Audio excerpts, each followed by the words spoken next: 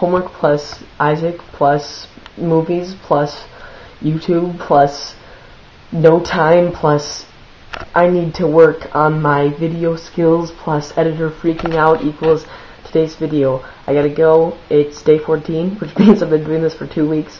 But I really gotta go. I'm not even kidding. I have to go. I'm sorry for the lame video, but there'll be a regular video posted tomorrow. Peace out, guys.